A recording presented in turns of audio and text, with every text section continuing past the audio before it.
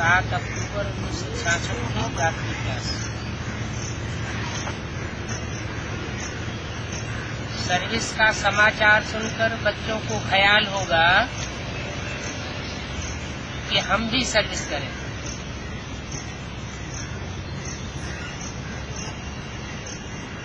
मैंने इशारा दिया जब भी संगठन क्लास होता है तो आधा पौना घंटा याद में बैठने के बाद बाबा की बोली तो सुनते ही है और साथ साथ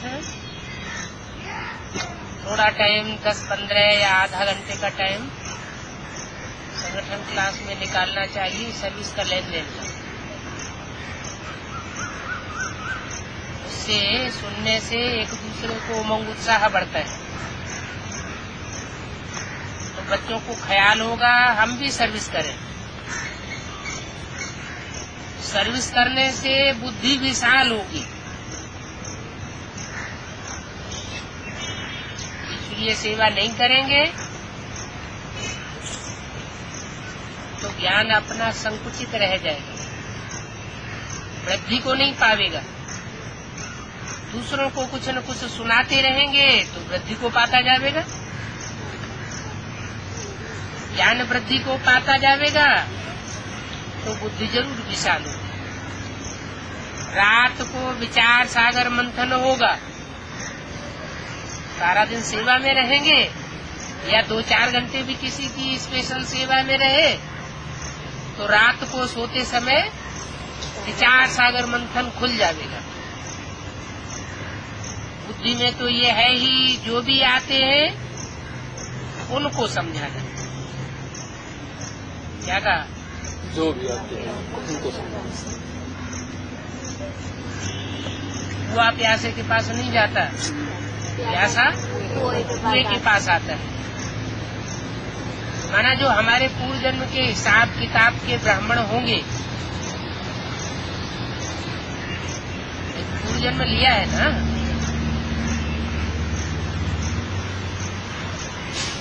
तो जिनसे हमारा कनेक्शन होगा पूर्व जन्म का, और वो आत्माएँ दोबारा जन्म लेकर के इस दुनिया में फिर से आई है तो वो स्वतः ही हमारे पास आ गई।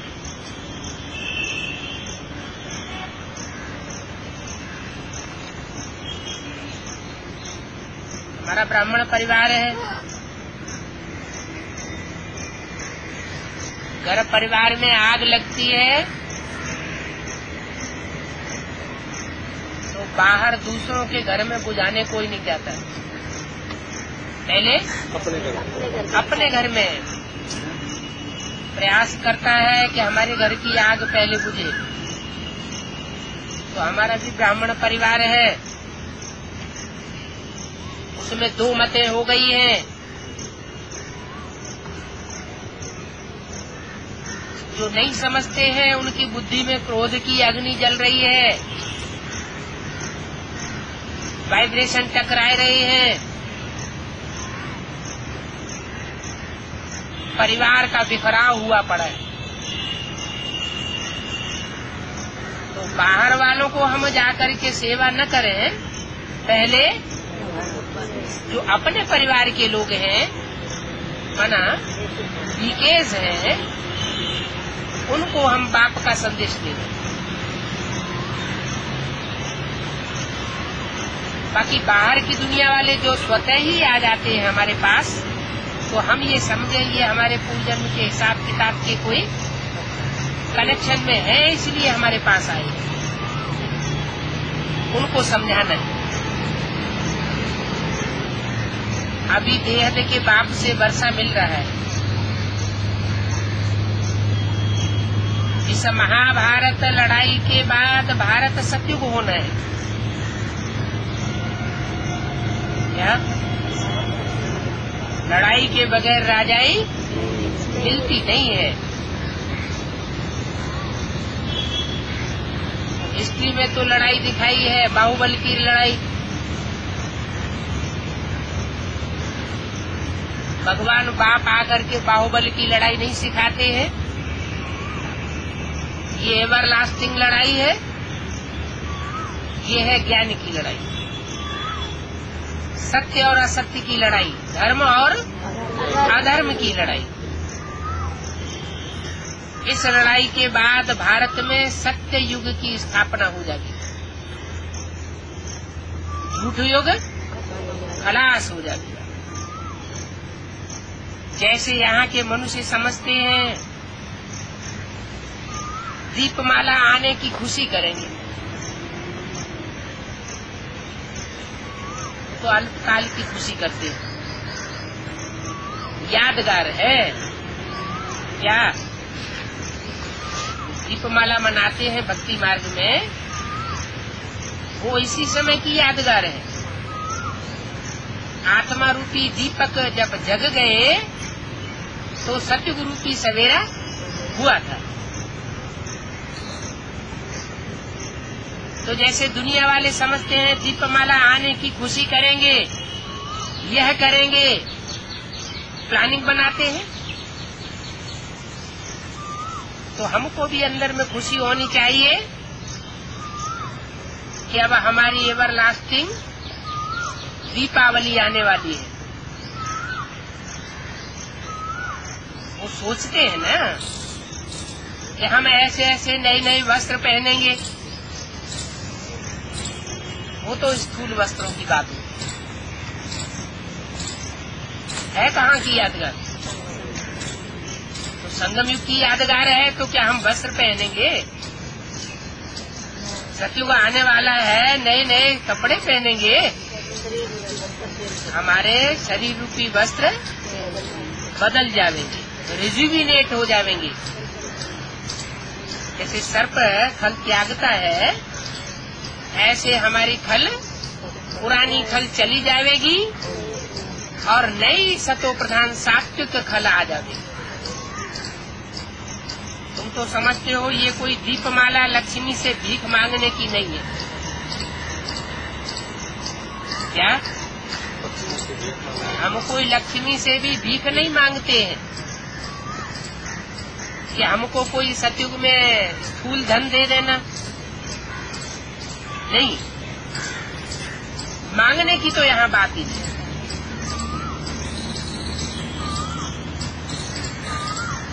अव्यक्तवाणी में क्या बोला? लक्ष्मी के बारे में छम छम के बारे में कुछ बोला? है? अभी छम छम होने वाली है।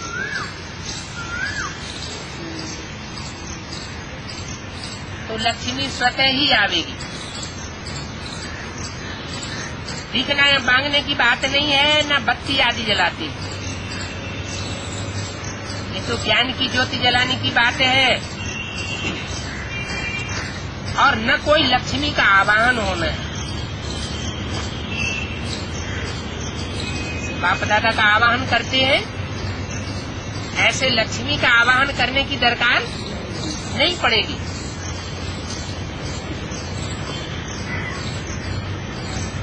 भक्ति मार्ग, दुर्गति मार्ग कहा जाता है। हमारा तो ज्ञान मार्ग है। ज्ञान माने जो भी हम करते हैं, वो समझ के करते हैं। और भक्ति में जो भी करते हैं, वो अंधश्रद्धा पूर्वक करते हैं। तो भक्ति मार्ग की बात हम कैसे मनावेंगे? भक्ति तो रावण से आती है। और ज्ञान? राम। बाप से आता है। भक्ति मार्ग के त्योहार हम नहीं मना सकते। है ना? वो स्थिर धूपकों को जगाने का उपक्रम हम नहीं करेंगे। मुरली में तो यहाँ तक बोल दिया। इस शहर में दीपमाला जगाते हैं घरों घरों में तुम तो नहीं देखने जा रही तो तुम्हारी बुद्धि में तो बैठा हुआ है। हम तो आत्मा रूपी दीपक को जगाते हैं। हमारे तो मस्तक में, तमांग में, वो उत्तम राजा बैठा हुआ है शरीर को कंट्रोल करने वाला। वो जागती ज्योति हम सदा जलावे।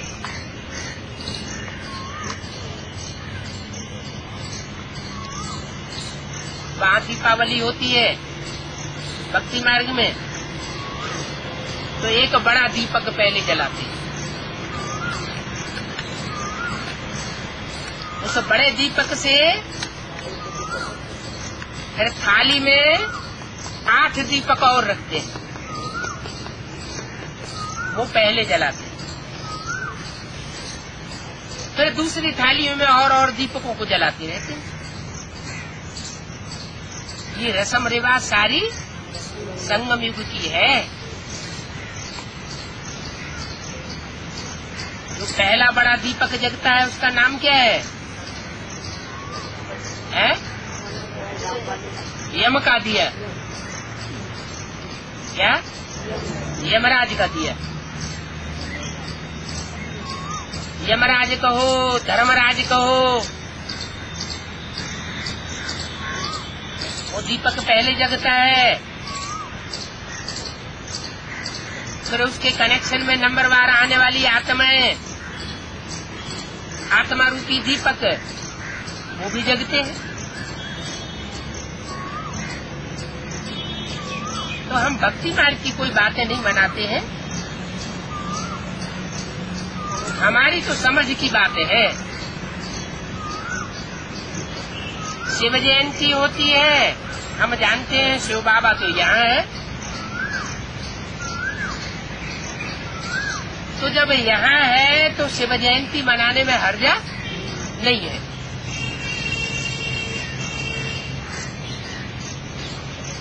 भक्ति मार्ग में तो होता ही नहीं। मान लेते हैं। क्या मान लेते? हैं परमात्मा है यहाँ। भगवान सर्वव्यापी है।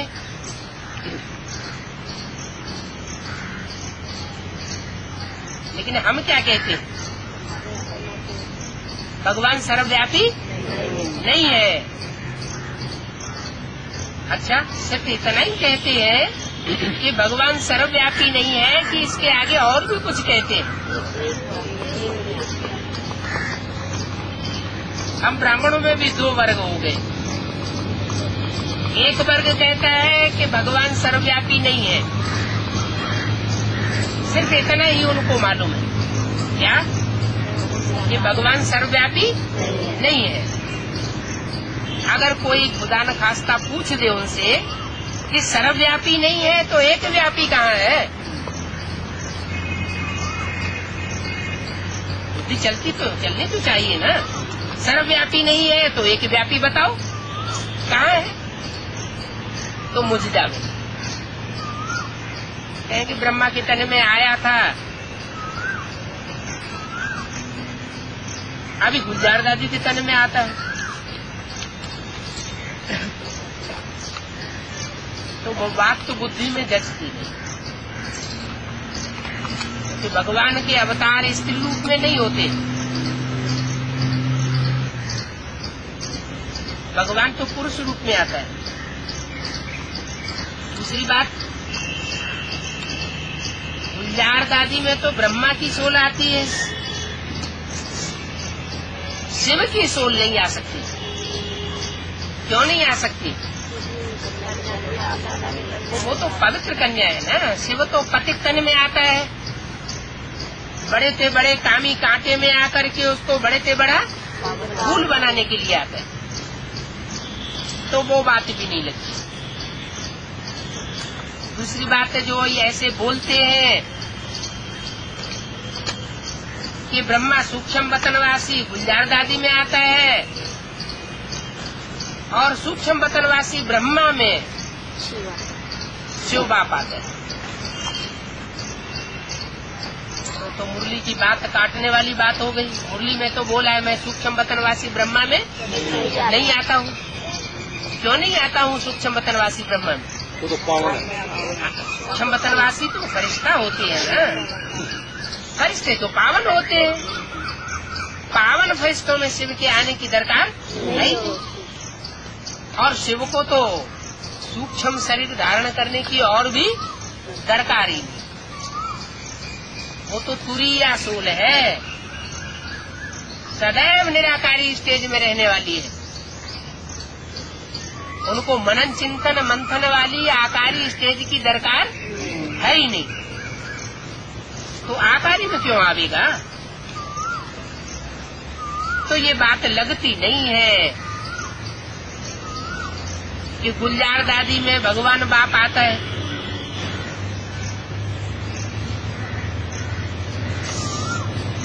जिज्ञासुओं को बहलाने के लिए बोल देते हैं।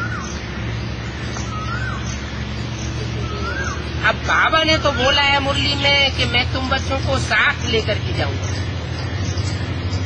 साथ रहेंगे, साथ जिएँगे, साथ खेलेंगे, खाएँगे और साथ साथ जाएँगे।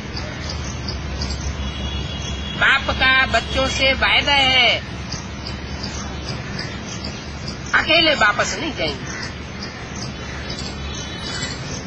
तो वायदा बीच में तोड़ सकते हैं क्या?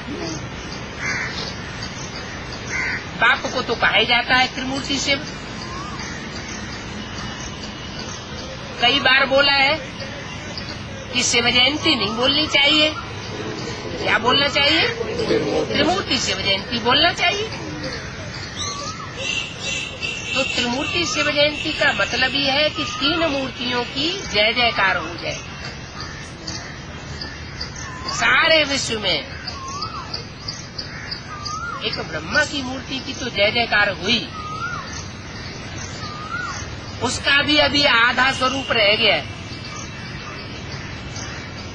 जिस मूर्ति की जय जयकार है, कुछ ब्रह्मा कुमार कुमारियों के द्वारा हो रही है,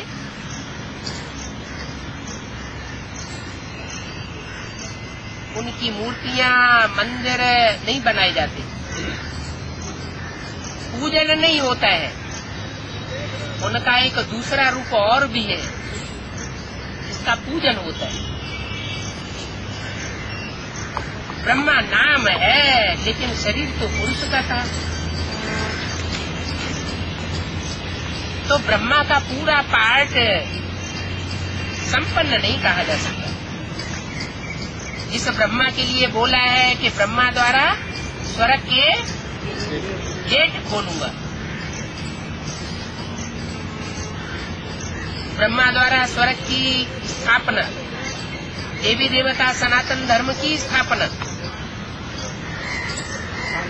तो वो कार्य तो अभी रहा हुआ। आधा काम हुआ, ब्रह्मा द्वारा ब्राह्मण धर्म की स्थापना हुई।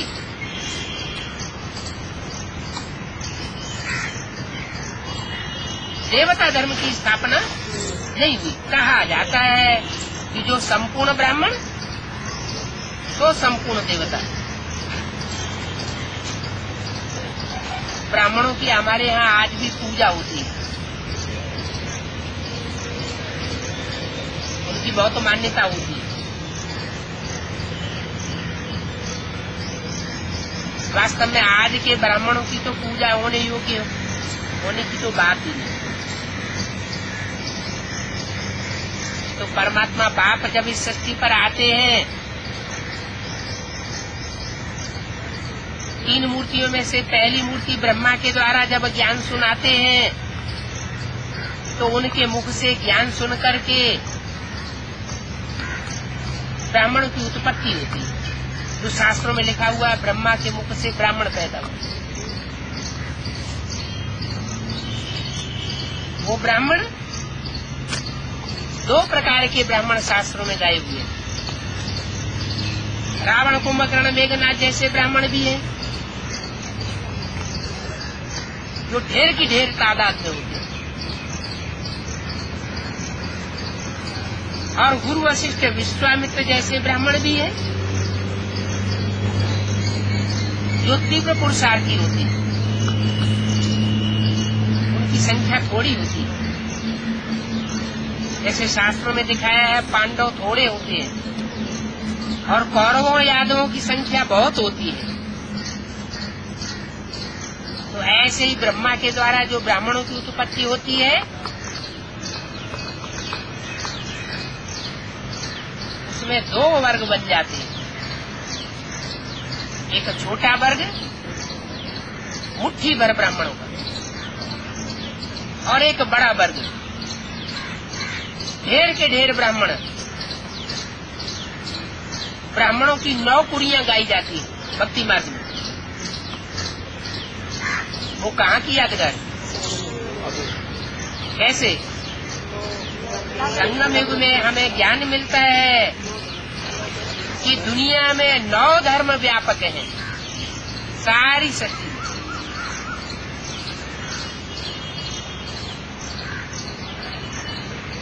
देवता धर्म जो सबसे आदि का है, इसे सनातन धर्म कहते हैं। वो दो भागों में बटा। सूर्यवंशी और चंद्रवंशी। वो तो हज़ारों साल पहले की बात होगी।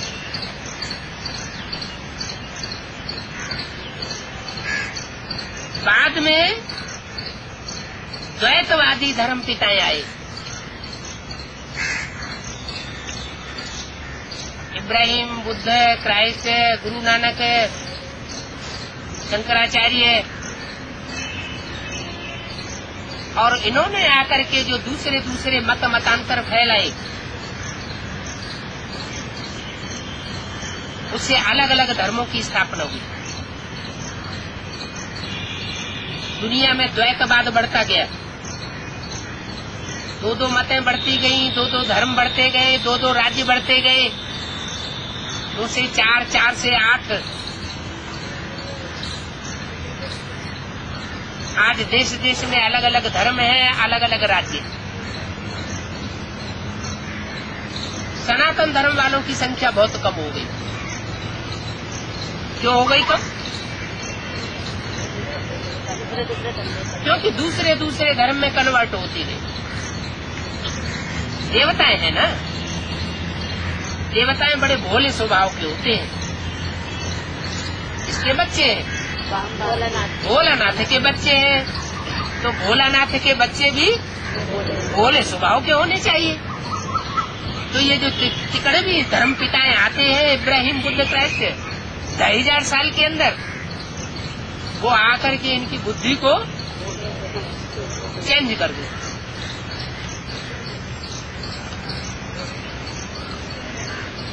सब देवताओं की बुद्धि को चेंज नहीं करते।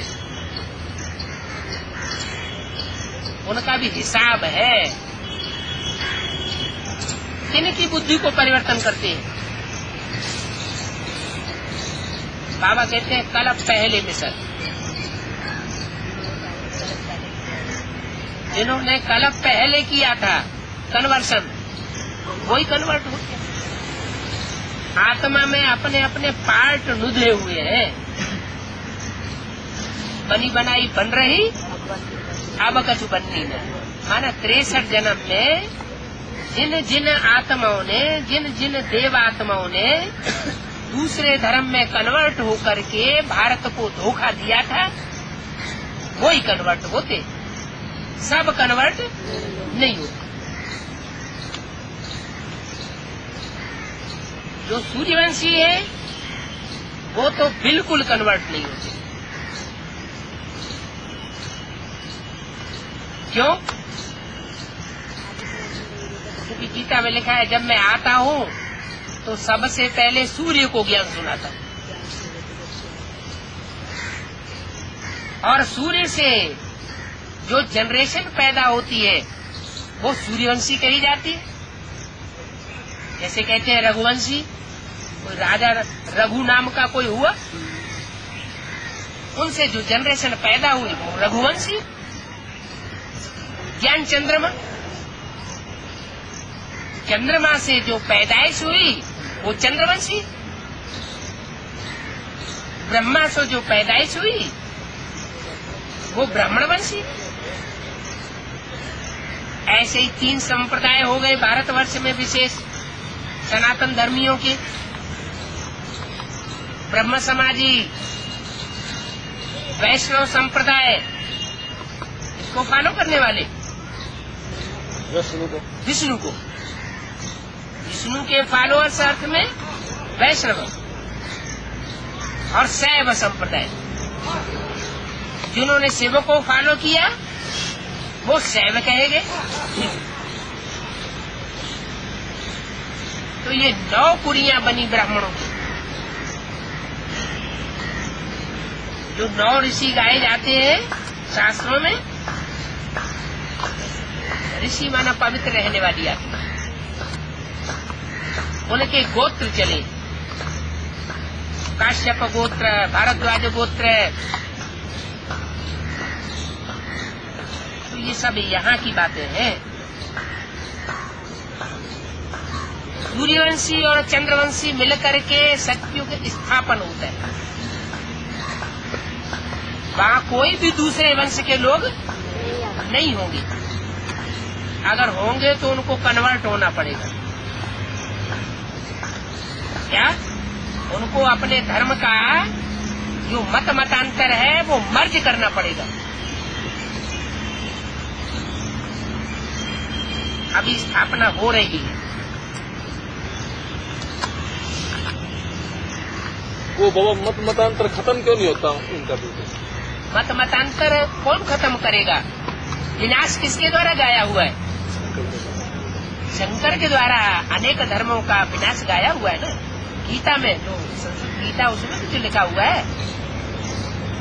धर्म संस्थापनार्थ है और अधर्म का विनाश करने के लिए।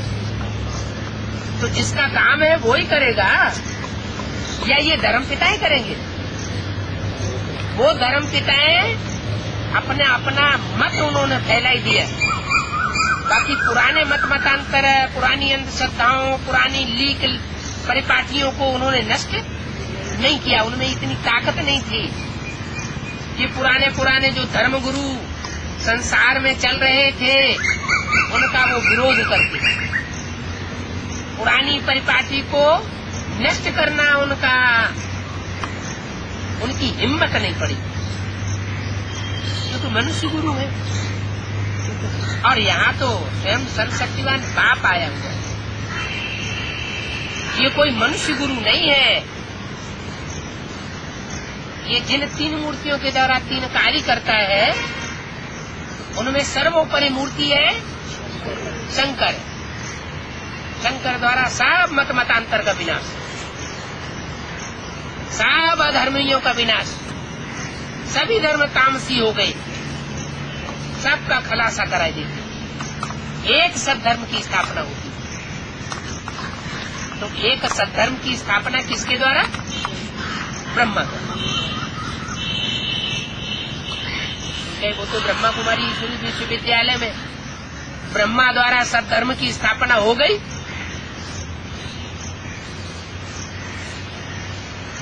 दादा लेखराज ब्रह्मा के द्वारा सब धर्म की स्थापना हुई या नहीं हुई? ब्राह्मण धर्म की स्थापना हो गई? नहीं हुई। क्यों?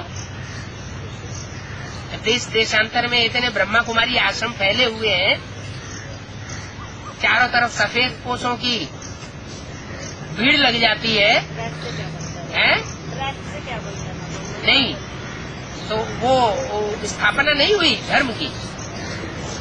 है? धर्म की स्थापना तो हुई।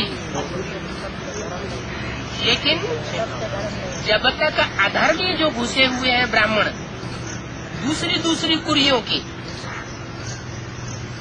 जो पहले भी कन्वर्ट हो गए थे,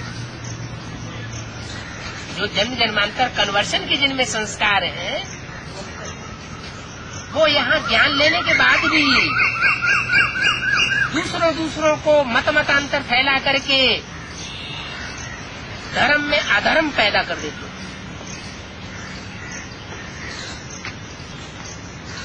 विपरीत मत पैदा कर देते। मन मत चलाते। मनुष्य मत पर चल पड़ते। तो जो तिरसठ जन्म चलने के आदि रहे थे, दूसरों की मत पर। और कन्वर्ट हो गए थे दूसरे धर्म में। दूसरे धर्मों का सैंपलिंग लगाने में सहयोगी बन गए। वही आत्मा यहाँ माउंट आबू में फिर इकट्ठी हो गई। हर धर्म के सैंपल इकट्ठे हुए। कहते हैं कुत्ते की पूछ बारह महीने तक डंडे में बाँध करके रखो सीधी करो। और बारह महीने या बारह साल के बाद भी अगर निकालेंगे तो फिर टेढ़ी की टेढ़ी निकलेगी। तो यही हाल उन आत्माओं का है। भले कितना भी श्रेष्ठ ज्ञान शिव बाबा ने आकर के ब्रह्मा द्वारा दिया, लेकिन वो आत्माएँ अपने स्वभाव संस्कार से बाज नहीं आती। जो जिस धर्म का होगा, वो उसी की बात मानेगा। इसका प्रूफ भी मिल रहा है। मानते भी है, कह भी देते आपकी बातें सब सच्ची है। लेकिन जब तक कुमारका दादी नहीं मानेंगी, जगदीश बाई नहीं मानेंगे, तब तक हम मानने वाले नहीं इसका मतलब क्या हुआ? कि मुरली में जो वाक्य, महावाक्य बाबा ने बोल दिया, वो सच्चा साबित होना है। मुरली में बोला है, जो जिस धर्म का होगा, वो उसी की बात माने। कुमार का दादी के धर्म का होगा तो कुमार का दादी की बात मानेगा। जगदीश भाई के धर्म का होगा तो जगदीश भाई की बात मानेगा। जगदीश भाई तो आखिरी जन्म में आर्य समाजी थे। तो उनकी तो कल्प कल्पांतर की नूद है ना? क्या? कि उनको हर आखिरी जन्म में जाकर के आर्य समाजी धर्म में कन्वर्ट होना। तो उनको जो फॉलो करने वाले होंगे वो उन्हीं की बात माने बल उनका शरीर छूट गया। शरीर छूटने के बाद भी, क्योंकि अकाले मृत्यु हुई है, ब्रह्मा को याद करने वाली आत्मा थी। जैसे को याद करेगी, अंत मते सो वैसी गति होगी। तो बड़ी बड़ी दीदी दादियों दादाओं के जब शरीर छूटते हैं तो उनकी अकाले मौत हो जाती जैसे ब्रह्मा का आठ फेल हुआ था, अचानक शरीर छोड़ा सूक्ष्म शरीर धारण करना पड़ा। ऐसे ही जगदीश भाई ने भी सूक्ष्म शरीर धारण किया हुआ है। सूक्ष्म शरीर धारण करने के बाद आत्मा की शक्ति बढ़ जाती है। एक सेकंड में कहा से कहा पहुँच सकती है? जब तक शरीर का बंधन था तो लोकलाज का बंधन था। चाहते हुए भी वो एडवांस पार्टी वालों के बीच में नहीं आ सकते थे।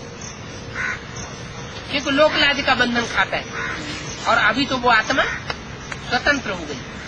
स्वतंत्र होने के बाद तो जो एडवांस पार्टी की आत्माएँ उनकी कैटेगरी के बीच हैं, माने आर्य समाजियों के बीच हैं, उनमें प्रवेश करके वो अपना ज्ञान का डोज ले रही जब पूरा एडवांस नॉलेज उनकी बुद्धि में बैठ जाएगी तो जो उनके फॉलोअर्स हैं, वो भी वो भी कन्वर्ट हो तब तक वो भी मानने वाले नहीं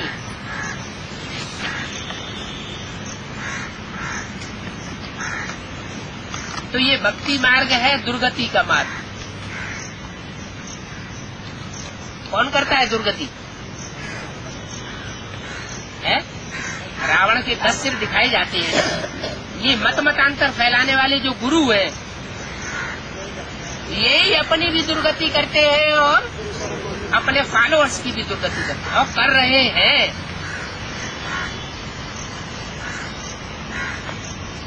तुम बच्चे तो भक्ति मार्ग की बातें नहीं माने।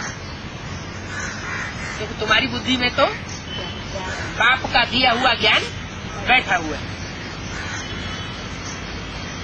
तो तुम भक्ति मार्ग के त्योहार नहीं मना सकते।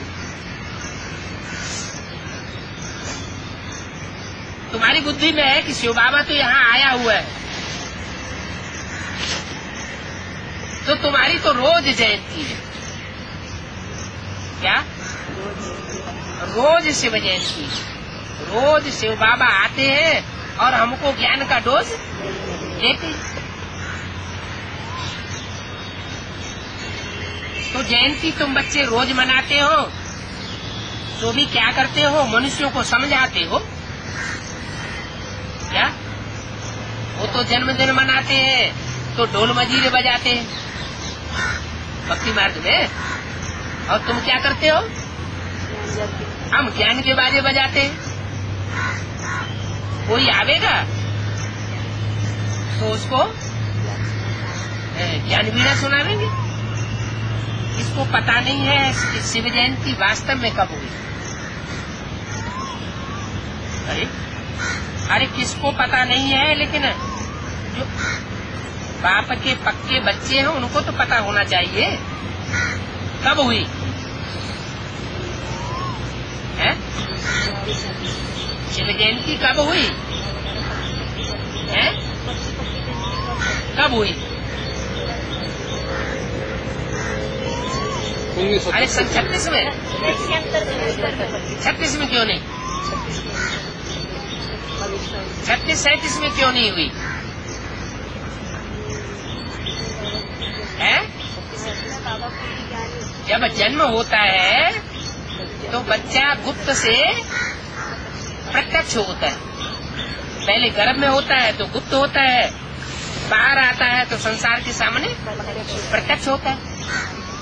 गर्भ में जब आत्मा प्रवेश करती है तो जयंती जन्मदिन नहीं मनाया जाता। माँ को पता चलता है कि पेट में कुछ रुपुर हो रही है। हलचल हो रही है। लेकिन और किसी को पता नहीं पड़ता। तो वो जयंती नहीं मनाई जाती। ऐसे ही सन छत्तीस सैतीस में कोई को पता नहीं चला। बच्चों को पता ही नहीं चला कि शिव ने कब प्रवेश किया। मिसाल दिया। ब्रह्मा के तन में शिव आते हैं तो क्या ऐसा ब्रह्मा को पता चलता है? नहीं, इनको भी पता नहीं चलता। कब आते हैं, कब चले जाते हैं, मालूम ही नहीं पड़ता। हाँ बाद में पता चलता है। कि ये पॉइंट तो हमारी बुद्धि में कभी आई नहीं थी। ज़रूर ये शिव बाबा ने आकर के बताई। तो शिव जयंती का किसी को पता नहीं है कि शिव जयंती कब हुई। नहीं पता है? नहीं पता है तो सन को बाप का प्रत्यक्षता वर्ष कैसे मनाइए?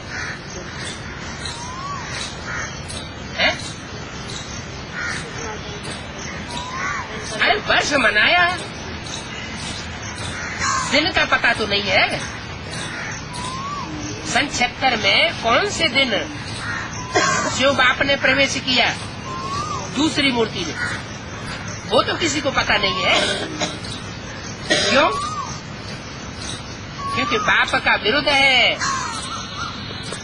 फादर सोस सन्स बाप आकर के पहले बच्चों को प्रत्यक्ष करता है। और बच्चों में भी अब्बल नंबर बच्चा कौन है?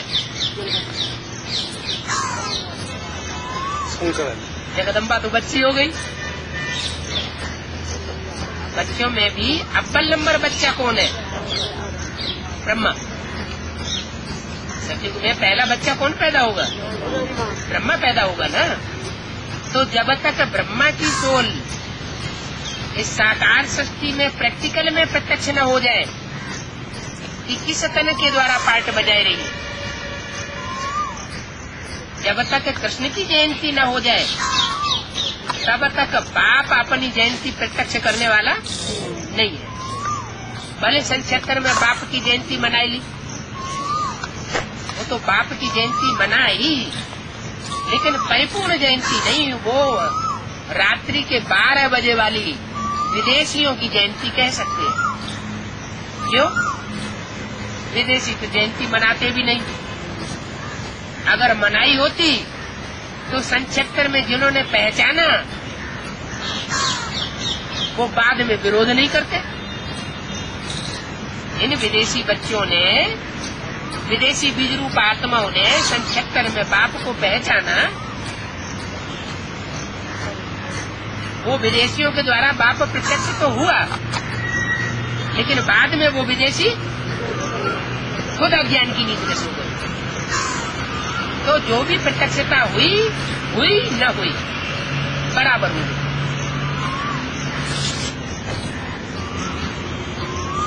अभी तो दूसरी मूर्ति को प्रत्यक्ष हुए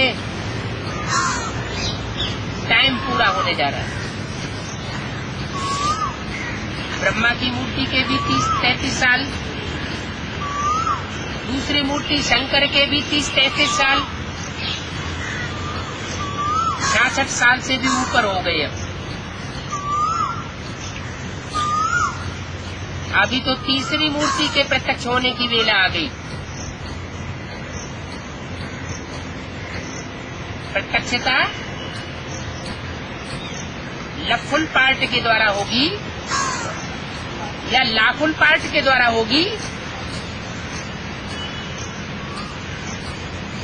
या बैलेंस के द्वारा होगी? तो बहुत प्यार करें। जैसे ब्रह्मा ने बहुत प्यार किया बच्चों को। उस प्यार में बच्चे और ही ज़्यादा बिगड़ गए। माँ की ही जान ले ली। तो प्रत्यक्षता क्या होगी? बाप को छुपाई दिया। सारी सत्ता वर्ल्ड रिन्यूअल ट्रस्ट बना करके अपने हाथ में ले ली। दादा आए ब्रह्मा को पता भी नहीं चला। जब उनको पता चला तो उनको हार्ट अटैक हो गया।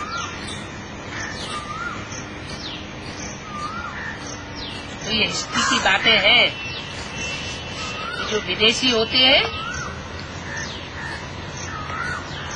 वो अपने बाप को भी मार करके राजाई अपनी मुट्ठी में कर लेते हैं। लंदन की भी हिस्ट्री में ये बात आई, और हिंदुस्तान की हिस्ट्री में भी ये बात आई है। क्या? औरंगज़ेब ने क्या किया था? शाहजहां को जेल में डाल करके और राजाई अपने हाथ में ले ये सब शूटिंग होती रहती है रिहर्सल होती रहती है। ड्रामा जू मिसल आगे बढ़ता रहता है। दूसरे दूसरे धर्म की जो आत्माएँ यज्ञ में आ गई, वो अपना चलन, अपना स्वभाव, अपना संस्कार, अपनी दृष्टि वृत्ति प्रत्यक्ष ज़रूर करती है।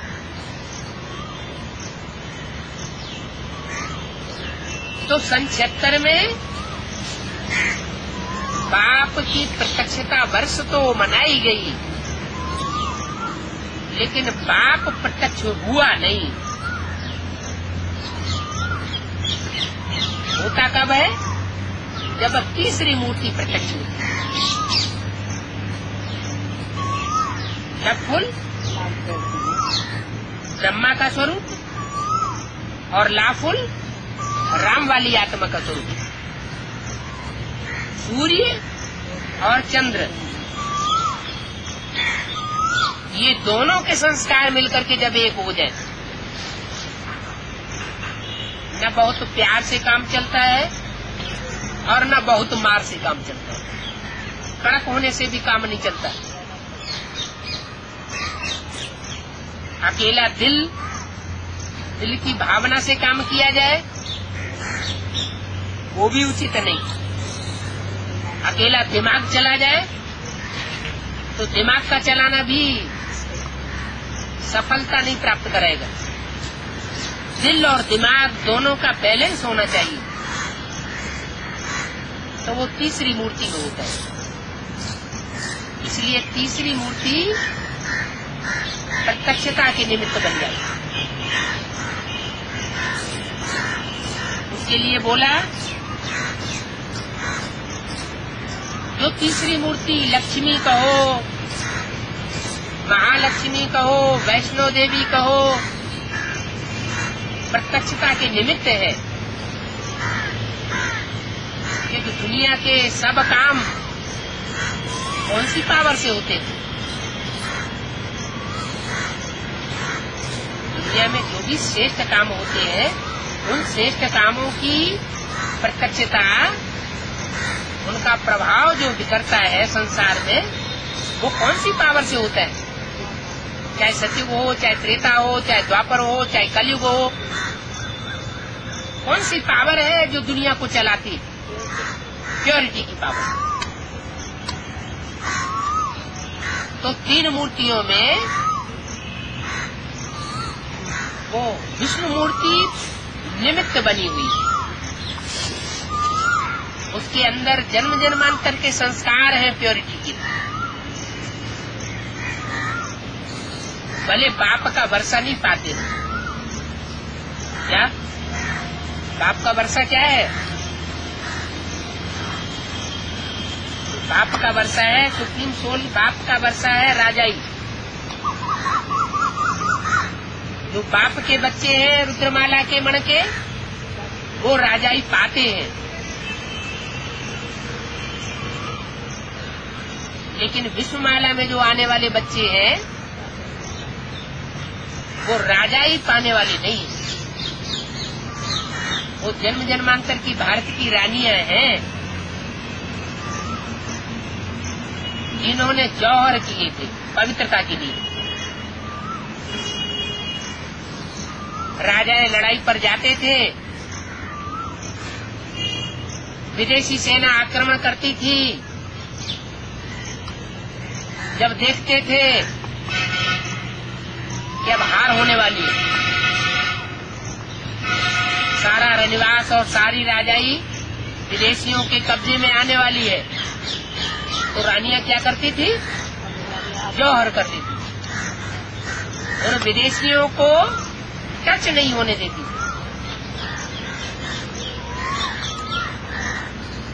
तो ये जन्म जन्मांतर की जो प्योरिटी जिन आत्माओं में भरी हुई है वो पवित्र आत्माओं को पहले ज्ञान लेने की दरकार है। यहाँ जो भारत के राजाएँ जन्म जन्मांतर अपवित्र बनते रहे। अनेक अनेक रानियाँ रखते रहे। उन अपवित्र आत्माओं को पहले ज्ञान लेने की दरकार है। अपवित्र आत्माओं का। है? अपवित्र आत्माओं अपवित्र आत्माएँ हैं जो पाप के बच्चे कहे जाते हैं। रुद्रमाला के मण के कहे जाते हैं, वो जन्म जन्मांतर के राजाएँ हैं। उनको पहले ज्ञान मिलता है।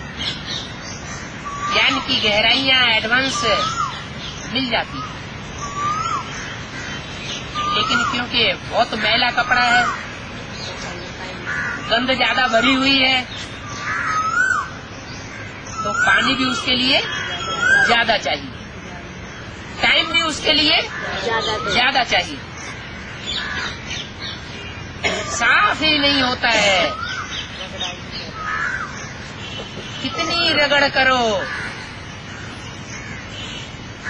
फिर भी सुधरते थे।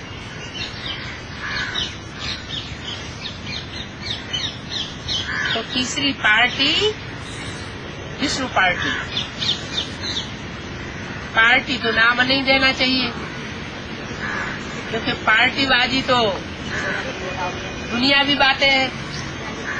ये तो बाप के पहलौटी के बच्चे हैं। ब्रह्मा, विष्णु, शंकर, इन पहलौटी के बच्चों में ही अगर पार्टीबाजी हो जाएगी, इनके संस्कारों में ही अगर पार्टीबाजी समा जाएगी तो दुनिया का क्या हाल होगा? तो ये पार्टी ये तो अज्ञानी आत्माओं ने नाम दिया क्या Brahma party Vishnu party Shankar party लेकिन ये तीन ग्रुप लुधे हुए हैं अपना अपना कार्य करने के लिए शास्त्रों में लिखा हुआ है कि जब यज्ञ हुआ तो यज्ञ को विध्वंस कर दिया रुद्रगणों ने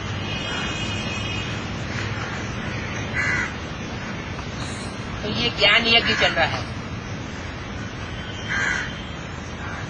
बेसिक नॉलेज का भी यज्ञ है। एडवांस का भी ज्ञान यज्ञ चल रहा है। लेकिन दोनों प्रकार का जो यज्ञ चल रहा है, उसमें अच्छे से अच्छे ब्राह्मण भी घुसे हुए हैं। और बुरे से बुरे संस्कार वाले आप ब्राह्मण भी अंदर घुसे हुए।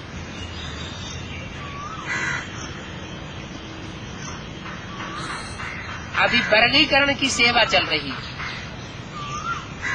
अव्यक्त वाणियों में बोला कई बार, कौन सी सेवा करनी है? वर्गीकरण की सेवा करो। तो जिन्होंने हद में उसका अर्थ उठाया, उन्होंने डॉक्टरों की मीटिंग करना शुरू कर दी। वकीलों की मीटिंग करना शुरू कर दी। अखबार वालों की मीटिंग करना शुरू कर दी। इंजीनियर्स की मीटिंग करना शुरू कर दी। ये वर्गीकरण की सेवा लेकिन बाबा का इशारा किस तरफ़ है? बाबा का इशारा है कि जो नौ धर्म की विशेष विशेष नौ ग्रुप्स की आत्माएँ हैं, उनका वर्गीकरण होना चाहिए।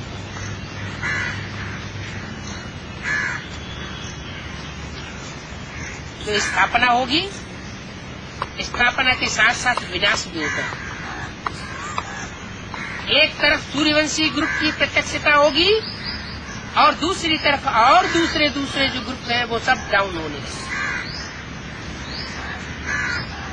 एक भी पावरफुल संगठन तैयार होने पर, एक दूसरे मणके को, एक दूसरे ग्रुप को खींचते हुए अंत में 108 की माला का संगठन एक हो जाएगा। ऐसे अव्यक्तवाणी में बोला गया। इसका मतलब क्या हुआ? कि जो नौ वर्ग हैं, जो ब्राह्मणों की नौ कुड़िया हैं,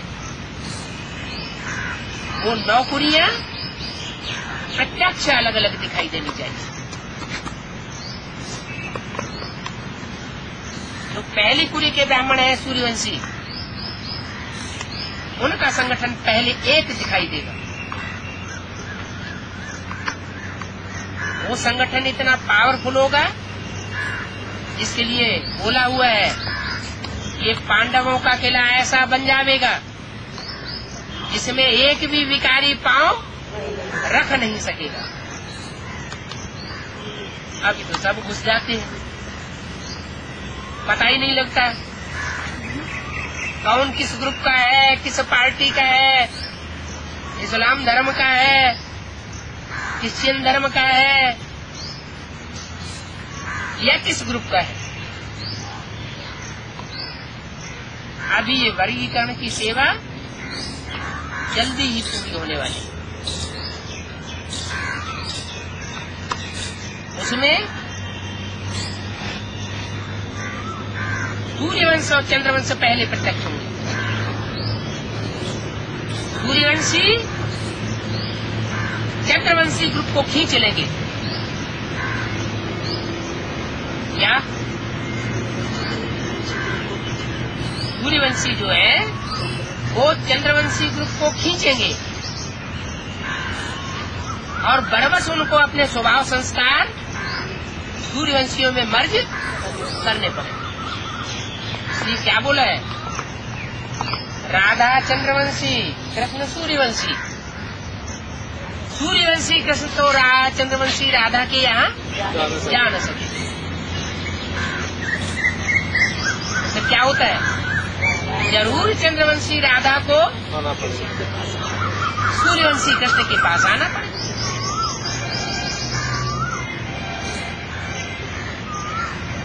तो ये चल रही है। अभी तो सब अपने अपने को बड़ा समझते हैं। कोई नीचा मड़का बनने के लिए तैयार नहीं सब अपने को राजा समझते हैं। कोई दास दासी बनने के लिए तैयार नहीं अभी ऐसा टाइम आने वाला है, जैसे मिलिट्री में ऊपर वाले ऑफिसर को नीचे वाला ऑफिसर नज़र उठा के नहीं देख सकता। इस में कर नहीं सकता। ऐसे ही माला का जो ऊपर वाला मणका होगा, उसको नीचे वाले मणके उंगली तक नहीं उठा सकेंगे। अभी तो हरेक एक दूसरे को उंगली उठाई है। आपने ऐसा क्यों किया? इन्होंने ऐसा किया तो हमने ऐसा किया।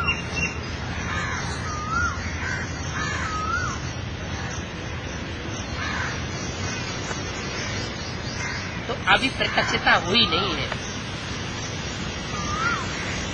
क्या?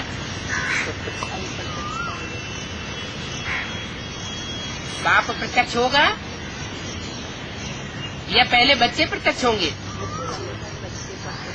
हैं? बच्चे प्रत्यक्ष पहले बच्चे प्रत्यक्ष होंगे। कौन से बच्चे पहले प्रत्यक्ष होंगे। हाँ रुद्रमाला में भी कौन से बच्चे? रुद्रमाला तो 108 की है। है? हाँ सूर्यवंशी बच्चे जो है, वो कौन से बच्चे प्रत्यक्ष होंगे सूर्यवंशियों में? सूर्यवंशी ग्रुप भी तो बारह का है ना? उन बारह में से कौन पहले प्रत्यक्ष होंगे? तीन मूर्ति। तीन मूर्ति सूर्यवंशी है, तीनों? तीनों मूर्तियाँ सूर्य कहेंगे? तीनों मूर्तियों को सूर्य कहेंगे? है?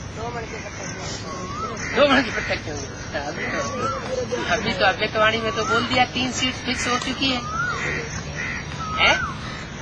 सन तिहत्तर में जब पहला मेला हुआ था दिल्ली में तो बोला था कि दिल्ली में जो मेला होने जा रहा है, उस मेले की फुल सजावट का इनाम दीदी दादियाँ दादाएँ देंगे। और जो चैतन्य प्रदर्शनी जो बच्चे तैयार करेंगे चेहरे की चैतन्य प्रदर्शनी। अव्यक्त स्टेज उसका इनाम बाप दादा देंगे तो इनाम तो बाप दादा ने घोषित कर दिया। क्या तीन सीट्स फिक्स हो चुकी है।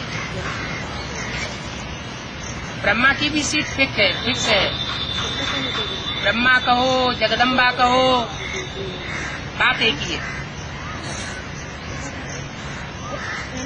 और जो दूसरी मूर्ति है, जिसके द्वारा आसुरी संस्कार, आसुरी धर्मों का, आसुरी ग्रुप्स का, आसुरी शक्तियों का विनाश होना है, वो मूर्ति भी प्रत्यक्ष है। बाहर की दुनिया वालों के बीच नहीं। बेसिक की दुनिया वालों के बीच नहीं। एडवांस पार्टी के अंदर जो विशेष आत्माएँ हैं। उनकी बुद्धि में उनका झंडा बुलंद हो रहा है। वाइब्रेशन मज़बूत हो रहे हैं। ये तीन मूर्तियों के अलावा और कोई मूर्तियाँ नहीं है जो संसार में विश्व विजय करके दिखलाने वाली बने। वो तो प्रत्यक्ष हो गई। उनको तो कहेंगे त्रिमूर्ति शिव। लेकिन तीन मूर्तियाँ जो है वो पूरी प्रत्यक्ष तब होती है जब तीसरी मूर्ति भी मैदान में आ जाए। अभी तीसरी मूर्ति मैदान में नहीं है। तो जब तक मैदान में नहीं है प्रत्यक्ष में नहीं है तब तक कोई मानने वाला नहीं है।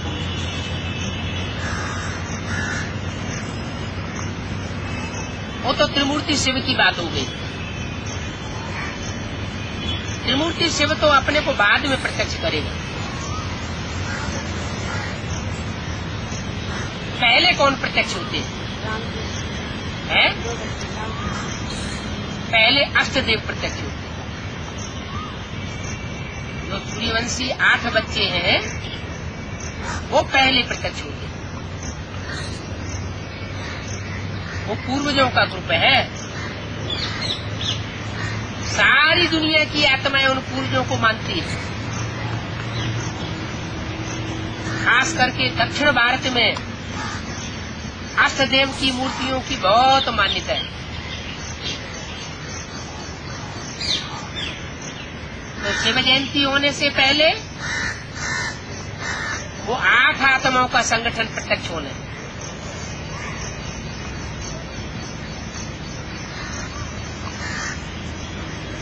वो ज़रूर आठ आत्माएँ उनमें शिव बाप की प्रवेशता होती होगी या नहीं होती होगी? नंबरवार होती है। नंबरवार होगी? ऐसे तो 108 मण के हैं रुद्रमाला के। सभी में नंबरवार प्रवेश होता है।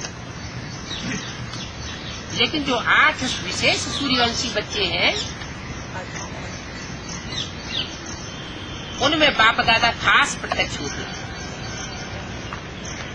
और प्रत्यक्ष होकर ईश्वरीय सेवा करते हैं और कराते हैं। जो अहंकारी बच्चे होते हैं उनको ये अहंकार आ जाता है कि हमने सेवा की। और जो अपने को निमित्त मात्र समझ करके चलने वाले बच्चे होते हैं निरहंकारी उनकी बुद्धि में ये हमेशा रहता है कि हमने सेवा नहीं की। हमारी आत्मा तो तमो प्रधान है। तामसी आत्मा ईश्वरीय सेवा का कार्य कर ही नहीं सकती। हमसे जो भी कार्य करने वाला है, कराने वाला है, वो बाप कार्य कराएगा। तो ये निमित्त भाव आता है। वो निमित्त भाव के आधार पर वो आठ आत्माएँ निर्माण होकर के प्रत्यक्ष होती है। पाँच हज़ार वर्ष पहले भी शिव बाबा आया था। कैसे आया? किसमें आया?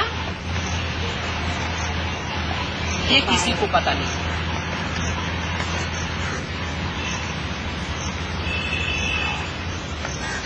तीन मूर्तियों में आया।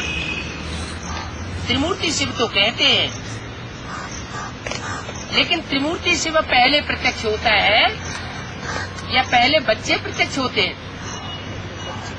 पहले कौन प्रत्यक्ष होता है? पहले तो बच्चे प्रत्यक्ष होंगे ना। लिखा हुआ है, बाप ब्रह्मा द्वारा स्थापना करते हैं। काय की ब्राह्मण धर्म की तो स्थापना हो गई। नंबर बार ब्राह्मण बेसिक से ही निकलने लगे। नंबर बार पवित्रता की धारणा की कर रहे हैं। पवित्र को ब्राह्मण कहा जाता है। अपवित्र को ब्राह्मण नहीं कहा जाता। तो नंबर बार ब्राह्मण तो तैयार हुए। लेकिन ब्रह्मा द्वारा स्वर्ग के गेट खुले हैं, ये नहीं कहा जा सकता। हाँ अभी अव्यक्त वाणी में ये बोल दिया है कि न्यू वर्ल्ड की सौगात तुम बच्चों को बाप दादा ने दी है। क्या? न्यू होगा तुम बच्चों को बाप तुम बच्चों को बाप दादा ने न्यू वर्ल्ड की सौगात दी है। और दो साल से जो अव्यक्त वाणियाँ चल रही है उन अव्यक्त वाणियों में जो खास बातचीत बाप दादा की हो रही है वो अष्ट देवों से हो रही है। उनसे बोला कि तुम बच्चों को न्यू वर्ल्ड की सौगात दी है। उसमें आना जाना करते हो ना।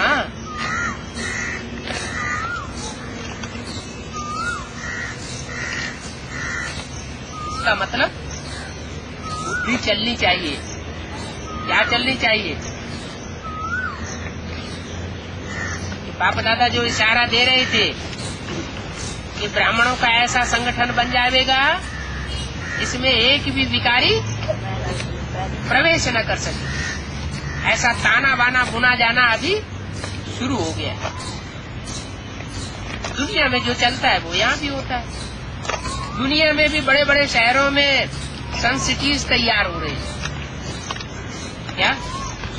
सन सिटी किसका सिटी सन सूर्य का सिटी यहाँ है सूर्यवंशियों का सिटी सिटी किसका?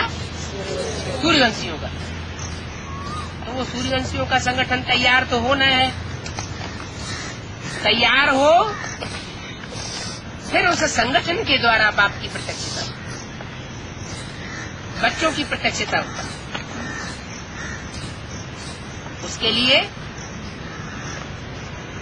वाइब्रेशन चाहिए। एक वाइब्रेशन जो बनाने वाले होंगे, वो सूर्यवंशी बच्चे होंगे। जो दूसरे दूसरे धर्म के ग्रुप हैं, वो उसमें बाधा डालेंगे।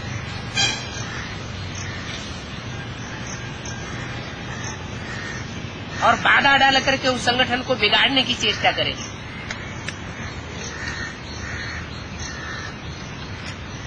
तो सूर्यवंशी बच्चे होंगे, वो उसको संवर्धन करने में लगेंगे। अंदर अंदर से हर एक को भाषणा तो आती है। क्या?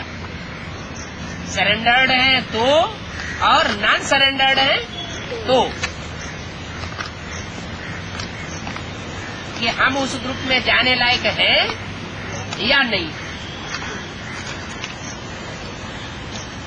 क्योंकि अपने अव्यक्तवाणी में बाप दादा ने बोल दिया है, अभी चेहरे तैयार हो रहे हैं। क्या? अभी फीचर्स तैयार हो रहे हैं। कोई के देवी देवताओं के फीचर्स तैयार हो रहे हैं और कोई के राक्षस राक्षसियों के फीचर्स तैयार हो रहे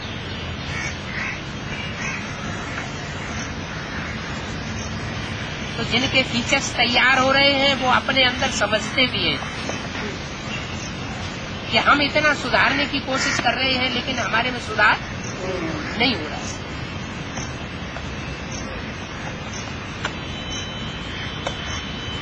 माना विनाश भी चालू है। अगर अंदर से हीनता की भावना आना शुरू हो जाए इन्फिनिटी कम्प्लेक्स शुरू हो जाए नेगेटिव संकल्प आना शुरू हो जाए माना विनाश की शुरुआत होगी।